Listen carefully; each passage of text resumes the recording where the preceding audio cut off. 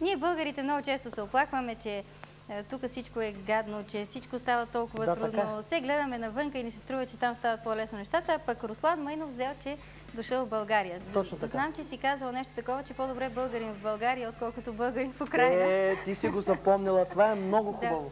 Така И е много важно. За мен точно така. По-добре българин в България, отколкото българин в Украина. И аз съм сигурен, че на много места по света пак нещата стоят по този начин. Знам, че харесваш много различна музика. Да, о, Така поне съм чула, че харесваш, да речем, и Лучано Павароти. Определено. И А- Андрея Определено. Бочели, и фолк, разбира Сачмо. се, и, Сачмо, да. И Задължително. автентичен фолклор. Та щях да те попитам, всъщност не ти ли хрумва да експериментираш в малко по-различен жанр, но ти явно вече Кой го жанр? правиш. Кажи ми кой жанр Ами дали? можеш ли, например, да ми изпееш всичките прасета на мезета в стил Андрея Бочели? Ние бяхме решили по едно време да направим а, кавър версия на тази песен, като балада обаче да го направим. Разбираш ли, ще да стане много хубаво. Но То много това. някакъв човек, който страда за прасетата, които умират да станат на паражоли.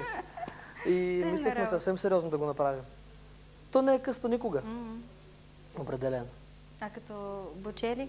Като бочели. И нещата са подобни. Ма можеш ли да го запееш сега? Сега ли?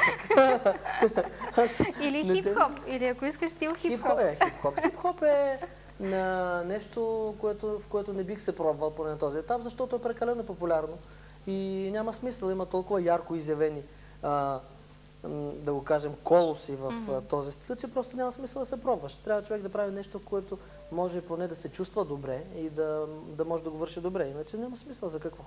Завършил си надпис, играл си в Да. театър, младежки, сатиричен. Като че ли обаче до сега, поне така ми се струва на мен, сто- стоеше малко на по-заден план театъра. Сега решил ли си да Е, наваксваш? не, не, не. Защо на заден план? Не стоеше на заден план, просто нещата са много, както виждаш и за това за всяко нещо си трябва да има отделна ниша. Аз не мога да си позволя. Проблем при мен не, че не толкова, че не мога да играя театър, колкото нямам време за репетиции, защото репетиционният процес, все пак това са едни 30-40 дена, от които последните са много натоварени и трябва да се правят двойни репетиции. Това означава да не се занимавам изобщо с другите неща. Не мога да си го позволя на този етап. И затова проявявам много голямо, как да го кажа, много внимателно подбирам нещата, в които да участвам.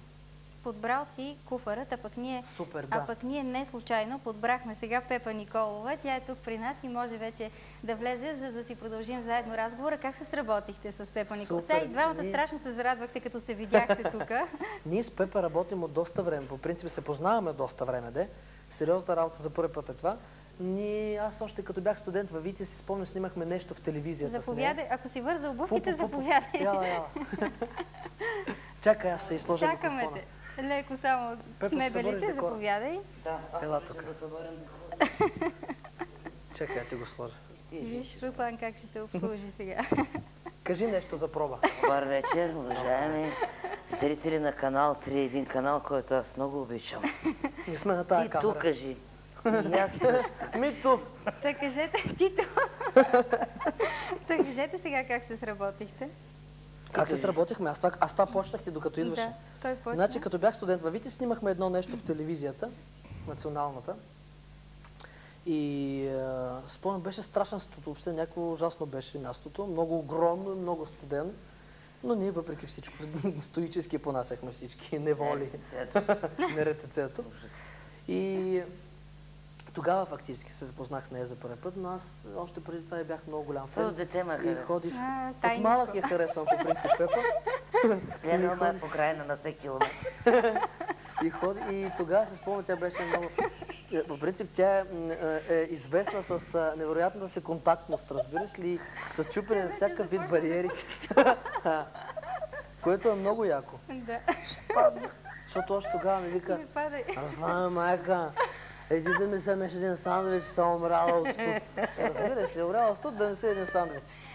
И аз ходих, обикалях там, бях облечен като урко. Това също е израз на Пепа, между другото. Урко е много да. И Като урко и като урко ходих да обикалям, търся нещо за ядене и бях, венчаха се с успех тези... Да, тази Бяха ме спряли среща- полицаите, между другото, защото бях наистина облечена като урко. Ти кой си, ма дай документи, ма къде отиваш?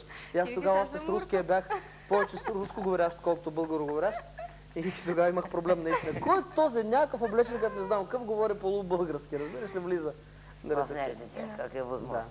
Пепа, кажи ти сега, ти също, също си много енергична и също правиш много неща наведнъж. Как успяваш да се разпределяш така А, енергията? правя ти. Какво правим? Те ние ще държат да не знае какво правим. Ние правим всички работим хаотично. Хаотично. Той затова не мога да каже план как ще иде с тролея, защото тролея може да не дойде от мъглата и... Така, Е, къде си тръгнал да и къде да се скараш? Има това е, няма Много надалеч направи програмата. А, така де, нямам планове. Нямаш планове. Да, и Ама не желая да имам една пиеса, играе много хубаво в Русенския театър. Аз нямам планове, не желая да имам планове. Сериозно. Е, че държавата има ли планове? Що аз трябва да правя планове? Кой от нас може да предвиди какво ще стане и сега като излеземе, е, въобще дали няма да вляза в някоя дупка, както идвайки насам, много хубави дупки имате. вашия Дупка ли квартал. влязла? Да, миналата черпа влязах от гластон в една са на Хендрик, на хубаво. така че въобще не знаеш, може да ти спре колата, може да не стигнеш до телевизията, да няма предаване, дори ако стане по-голям гаф. Няма планове в тази И нашата държава. сега го има. Кажи за твоето предаване обаче. А, моят предаване е много хубаво. Не, Моят предаване е много... Аз си харесвам предаване, защото не се преструвам, Е, има си че- пък да не си го харесваш. че... Не, не, аз имам чувство за критичност, моля те си. За разлика от другите всичко си харесват. Не съм нарцис, не съм самовлюбена. Веднага знам кога е станало предаването, кога не е станало предаването. И по реакцията на екипа, който работи там, Мгм. и по обаждането, аз знам кога е станало. Е, предаването ми става, защото не се преструваме, не се правя на... Че знам, защото за разлика от много водещи, които всичко знаят и много мислят, а в очите им се чете, че въобще не мислят. Аз се признавам, че не знам, че не съм чула, че за първ път го чувам това. И това не е срамно. Нито съм спортистка като Христо се. Марков, нито съм историк като Пантев, нито съм, да речеш, някой спец като Ал Бакари, да речем, египетски журналист, който ми беше на гости. Може Да е по-хубаво за решим. пиесата да Дай, дай да говорим. изиграем един Айде, Кой е отказ той е долен? Ми да почнем от начало. куфър трябва ли От начало ще стане много дълго. Не, не може да стежи Ако почнем от начало. С тежи До- си, до ма- къде На мен ми казаха да не ставам, защото дърпам кабела на микрофона. Дай от начало. Ай, ти си първи. Идваш. Не, не, дей, не, А не, от кое да изиграем? Давайте да. Какво сега? Ти. Не можете да решите какво? не, не можем да решим какво. Ми решете. От начало ти си. Ще А, скучно, не, бе. Няма. Анифе! И така ще продадем микрофоните, чакай, Няма. се извика. Няма Аз съм, ма страшно. няма, ма няма, ма някъде съм там. Не, не, мене ме няма, ти да има. Намирам един куфар. А, Слизам кажи на го. сцената. За сега. Да. Намираш куфар. Слушай. Виж сега. Да. Пееш, пееш. Да. Бяла роза с закича. Са Точно кача така. на москвича. Е така, така. Да, точно така. Анифе! Моя глас се чува отзад. Да. Мене ме няма. Злез. Опани го! Да те пънат при баба ми дано. Аре бе, опани го хубаво, да няма гънки. Мятам Маркуч, който е много дълъг. Това опъвате. Излиза на сцената. А? Това опъвате. Да. Аре бе, опани го няма, чакам цял ден бе. Само за тебе ще стоя тук. Опани Маркуча! М, Пъна го прави го. А, И опани. да завърте крана на Ай, скъде. завърти крана сега. На скъде да го завърте? Аре бе? наляво на къде? Къде това лево? Е, към тая ръка. Към та. Не към тая бе, към другата. Е, ти що покажеш та? Е, нали за мен е тебе, за, за, тая за тебе другата? Така ли? За мен така, за теб. Нали бяха ми равни, бе, Тарка? Ти с кой си равна, бе?